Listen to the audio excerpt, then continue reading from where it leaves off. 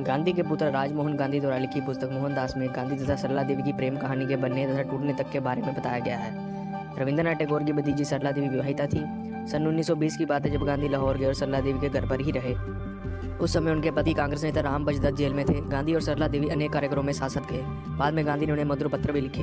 लेकिन गांधी ने इसे सरला देवी के साथ अपना आध्यात्मिक विवाह बताया, जिसमें दो स्त्री पुरुष के बीच ऐसी सहभागिता है, जहाँ शारीरिक तत्व है राजमोहन गांधी ने लिखा है, सन 1920 वाले दशक के उन कुछ आरंभिक महीनों में गांधी सरला देवी पर मुग्ध थे।